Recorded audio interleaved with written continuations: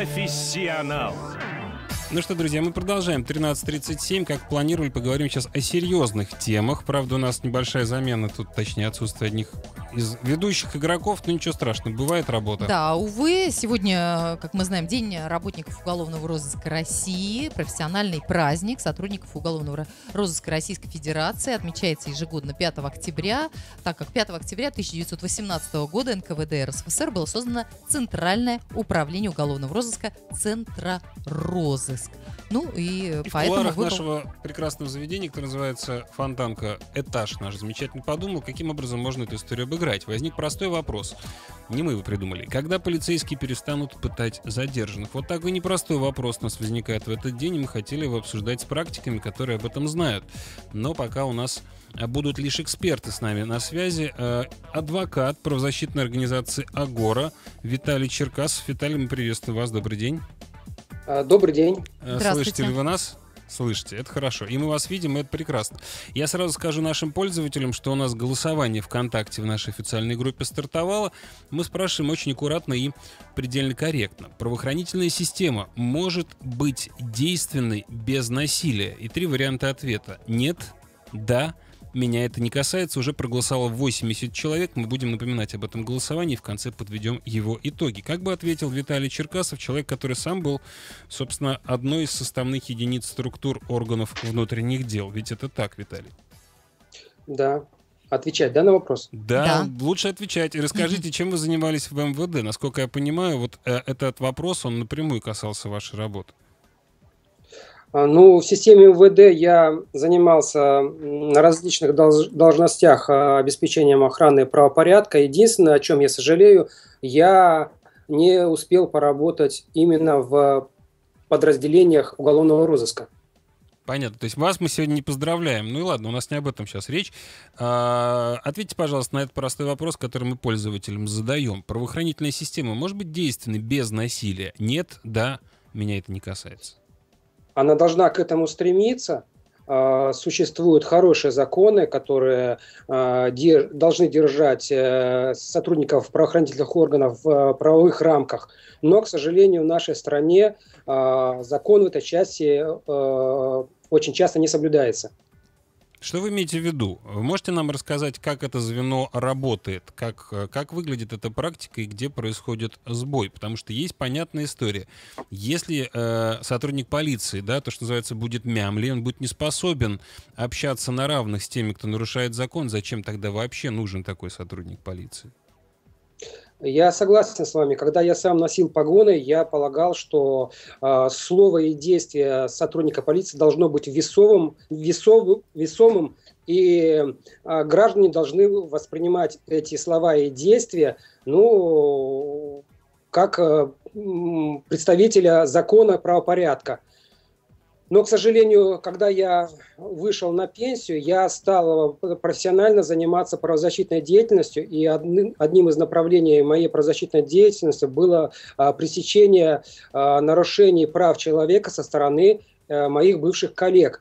То есть вот эти пытки, привлечение к уголовной ответственности невиновных, фальсификация материалов уголовного дела – это основные направления, которыми я занимался на протяжении 14 лет э, большое количество уголовных дел, которых удалось возбудить в отношении э, сотрудников полиции, которые нарушали закон. Порядка 50 сотрудников было привлечено к уголовной ответственности, отбывали наказания, и большинство из них это сотрудники уголовного розыска. Виталий, а... это какие годы и какие территории Российской Федерации? Речь же не идет о столице, да? А меня еще вопрос. и интересует вопрос, а в каких э, чаще всего должностях э, уличались люди вот в применении насилия?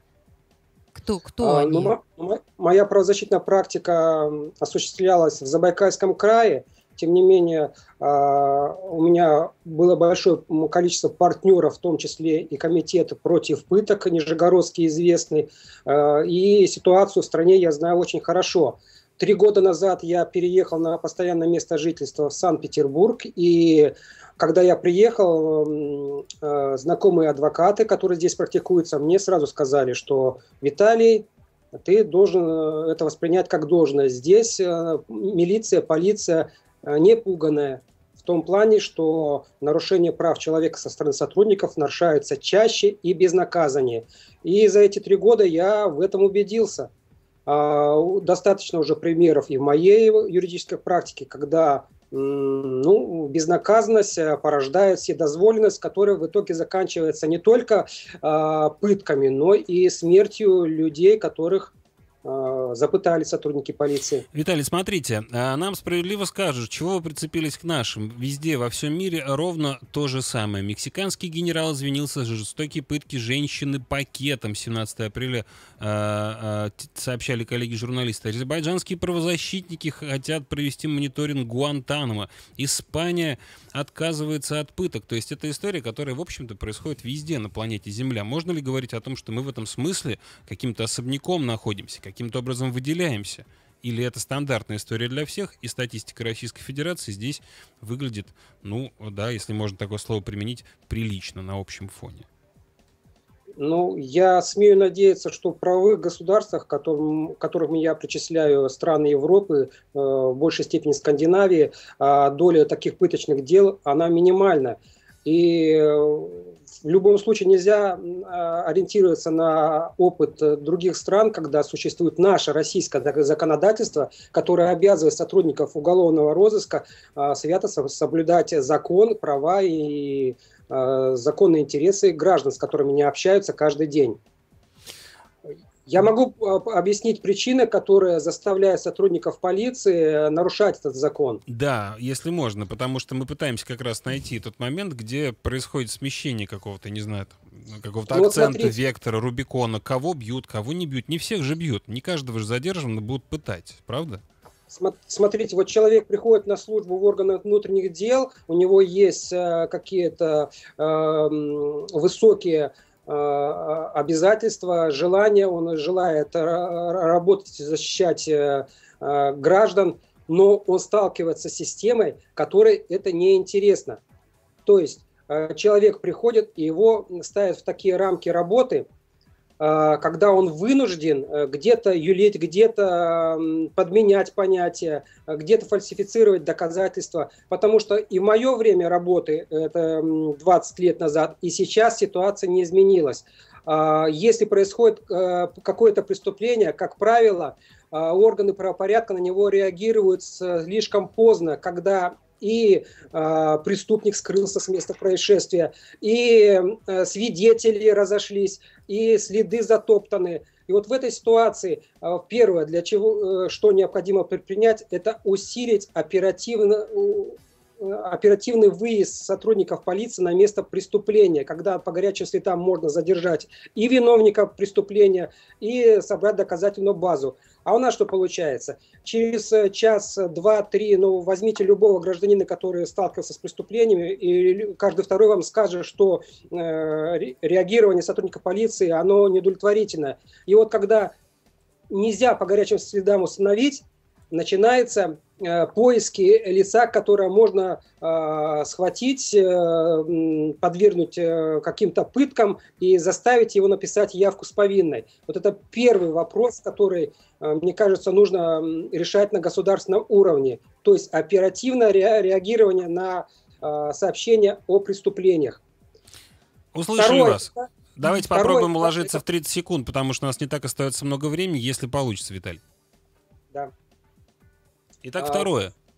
Второе – это так называемая палочная система, когда все у нас органы правопорядка и судебное сообщество заточены на то, чтобы у нас как можно больше, выше была планка раскрываемости. И я думаю, что если бы у нас такой э, орган, как э, суд, э, объективно и непредвзято рассматривал те дела, которые поступают в суд в достаточно таком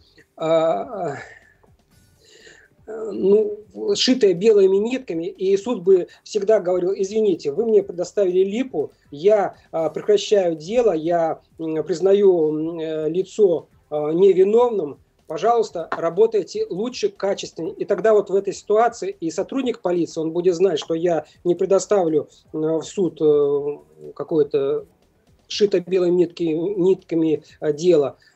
И в этой ситуации он будет работать объективно и в интересах закона. Услышали ваше мнение. Это Виталий Черкасов, адвокат правозащитной организации «Агора», и он нам рассказал свое видение проблематики, те э, фактические проблемы, которые есть, и какие-то варианты выходов из этой ситуации. Спасибо вам большое, Спасибо. Виталий. Спасибо.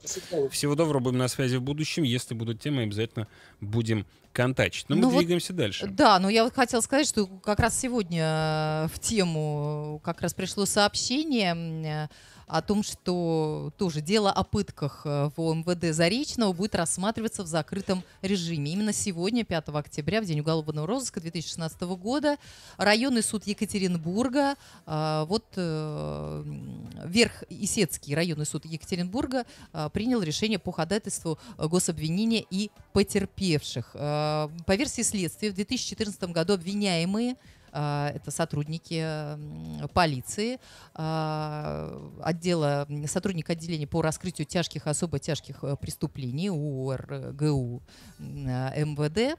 А, в 2014 году обвиняемые выбивали из троих задержанных признание в убийстве. В итоге один из них все же взял вину на себя, хотя не имел никакого отношения к преступлению. Другого задержанного после допроса госпитализировали с разрывом селезенки. Ну и у нас э, очередной собеседник на связи. Мы с радостью представляем вам представителя, председателя межрегиональной общественной организации «Комитет против пыток по предотвращению пыток, член президентского совета по развитию гражданского общества и правам человека Игорь Каляпин. Игорь Александрович, слышите ли у нас? Добрый день. Здравствуйте. Да, слышу, здравствуйте. Здрасте. Все правильно сказали, нигде не ошиблись. Ну, вы на самом деле два взаимоисключающих названия назвали. Комитет по предотвращению пыток сейчас называется. Комитет ну, по предотвращению пыток. Спасибо, что вы нас поправили. А у нас идет простой вопрос для наших пользователей в качестве э, да, у нас голосования. ВКонтакте. Правоохранительная система может быть действенной без насилия? Три варианта ответа. Нет, да, меня это не касается. Как бы ответили вы на этот вопрос? Ну, вот э, здесь, э, здесь э, есть э, очень важный нюанс. Дело в том, что совсем без насилия правоохранительная система работать не может. По крайней мере, никому это, никогда ни у кого это не получалось. Другое дело, что насилие бывает законным, и э, в русском языке это так немножко казуити, казуистически называется в этом случае применение физической силы. А, а бывает незаконным. И в этом случае это называется пытки в соответствии с э, международным правом. Понимаете, у сотрудников полиции э, есть э, э, дубинки, электрошокеры, слезоточивый газ, оружие огнестрельное, да, которое в том числе в определенных э, ситуациях может применяться на поражение. Это все как раз для того, чтобы вот оказывать э, воздействие э, на людей, между прочим. Вот, и как вы понимаете, вот эта панка резиновая, она, она существует совсем не для того, чтобы просто бомтаться на боку. Вот. Кроме того, сотрудники полиции еще и их специально обучают э, рукопашному бою, в том числе специфическим там, каким-то болевым приемам. Э, это, это необходимо. Другой вопрос, что применяться это должно законно. Скажите, пожалуйста, как выглядит статистика? Кто чаще всего становится жертвой от этого насилия? И делите ли вы это насилие на какие-то, я не знаю, там подразделы? Одно дело школьников с длинными волосами пытать, совсем другое пытать человека, который совершил преступление или подозревается в нем, правда же? А, правда. А, давайте... Как, как выглядит статистика ваша? Как ваша статистика выглядит на текущий момент? Да, давайте я начну с ответа на первый вопрос. А, что он, он, он, он, он, он такой... Э,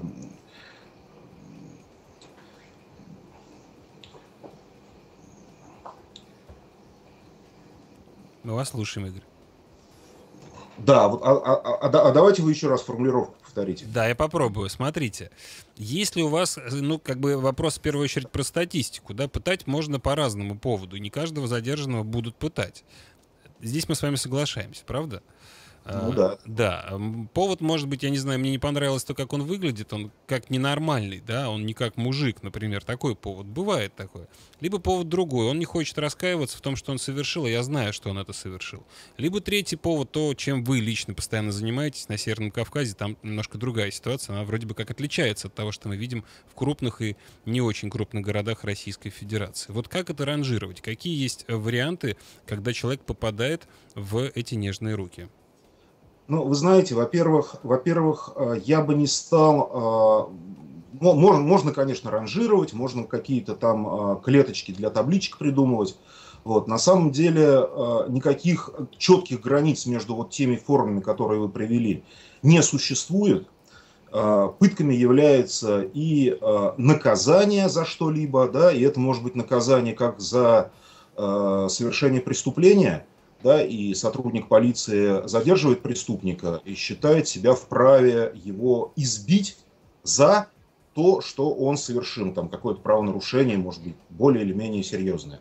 Да, это может быть и, э, то есть цель избиений, пыток, может быть и вызвать у человека э, чувство неполноценности. Это тоже бывает, когда полицейский видит, э, ну, например, молодого человека, который, по мнению этого полицейского, там не так одет, не так выглядит, там серьга в ухе, ну не знаю, наверное, наверное сейчас такого уже не бывает, это, ну, там, э, в преснопамятные 90-е все ушло, но, э, ну, в принципе, вот, вот, вот, вот иногда бывает, что это результат вот такого отношения, пренебрежительного, да, и полицейский, полицейский хочет это как-то продемонстрировать.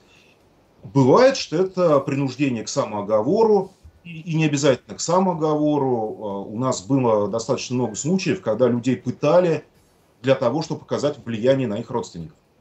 Да, например, а, пытали а, женщину, жену, да, в присутствии ее мужа. Да, и там грозились изнасиловать и все такое прочее. Там, Это какой на... регион? Вы можете нам подсказать точку на карте? Это Казань. Это Казань. Ну, Казань, да, мы помним, была громкая история. В Петербурге тоже была громкая история, если вы помните, 4 года назад. Никита Леонтьев был такой мальчик. Да, да, да, конечно, помню.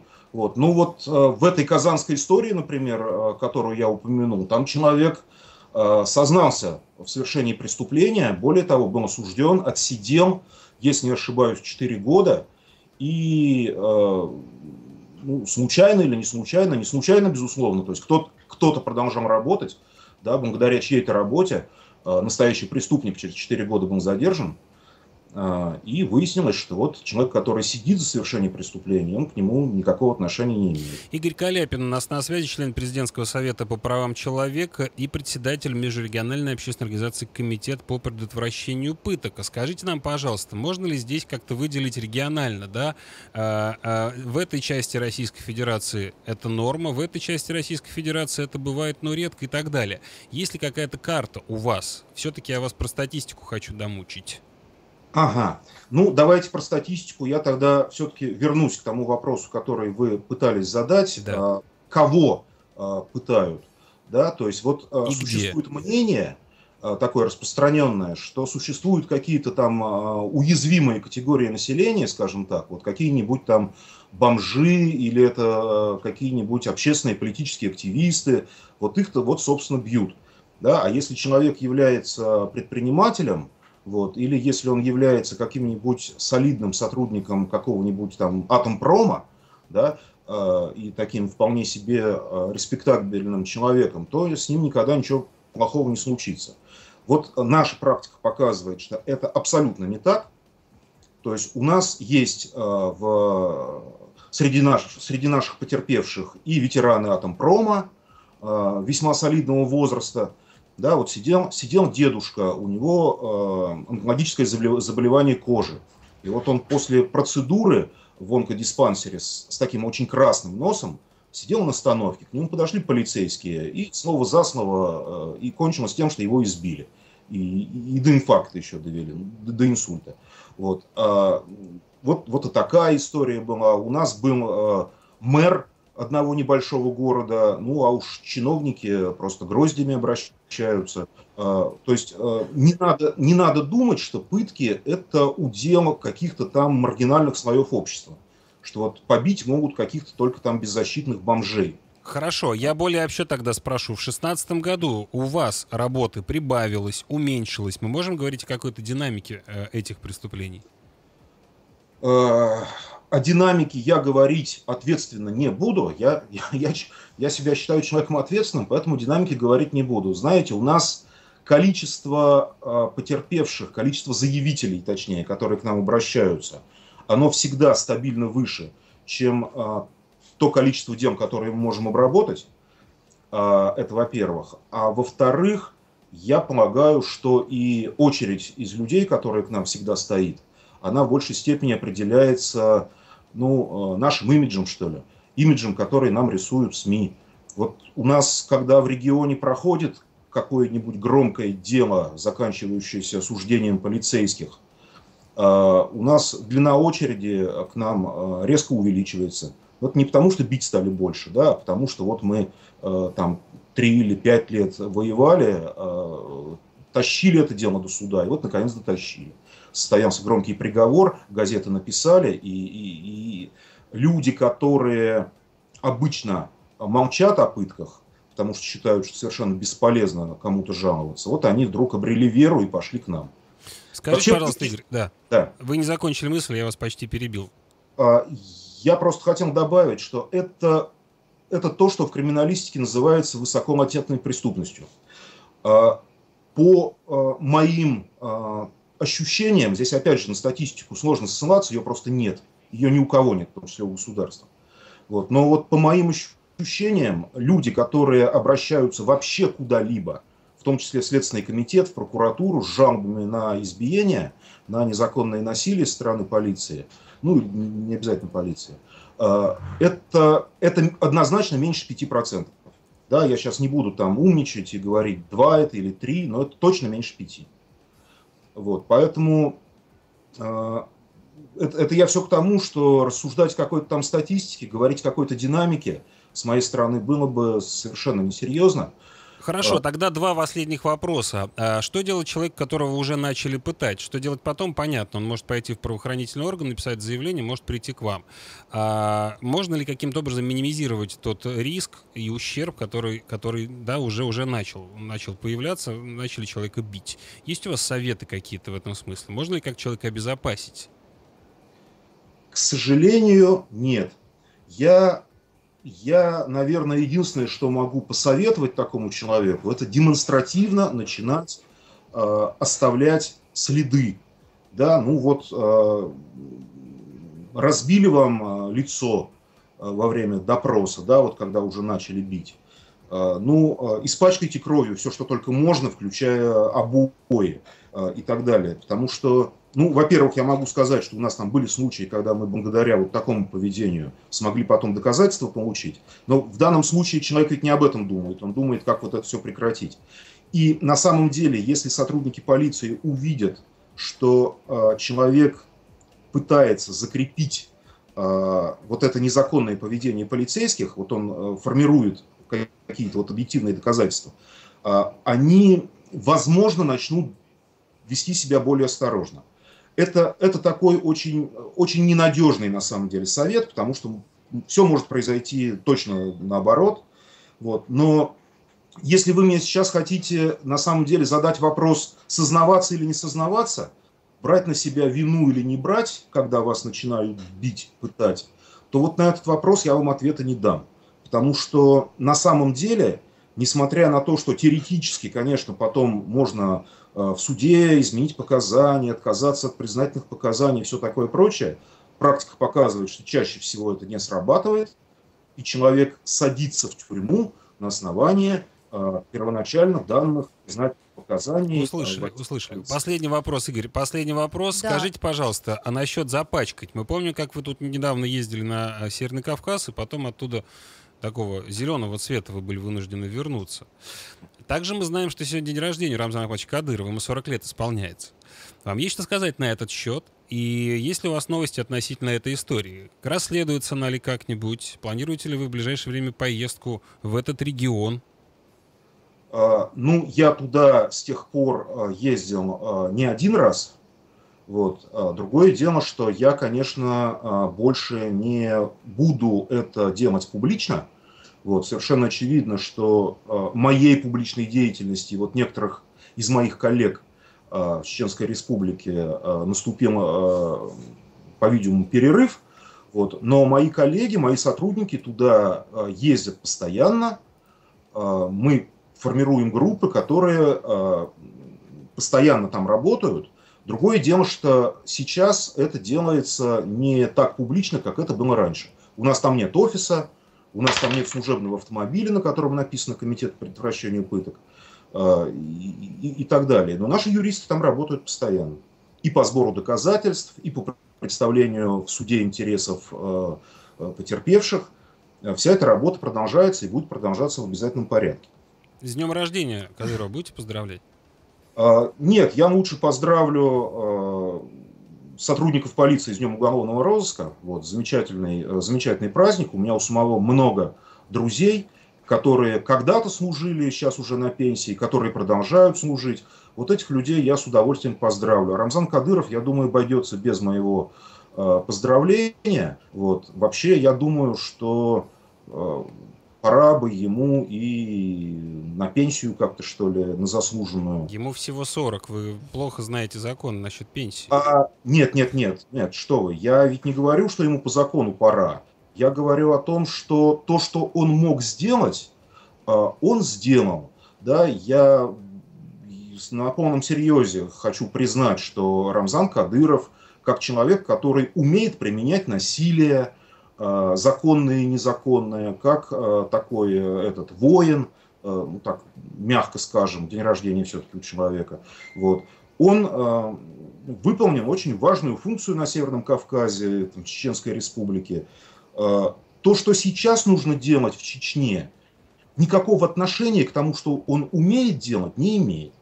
Там сейчас нужен другой человек с другими качествами, с другими способностями и, извините, с другим образованием. Я понимаю, что он академик, там, доктор и так далее, но ну, вот другое образование нужно сейчас э, такому человеку. Я думаю, что Рамзану Ахматовичу, э, тем более, что он много раз повторял, что он устал, вот я думаю, что ему пора на отдых. Вот с, с дворцами, с конями, там, с этими майбахами, с всеми его. Ну вот пусть он, пусть он уже отдыхает. Вот я ему этого хотел бы пожелать. Услышали. И ему и его начальнику. Услышали.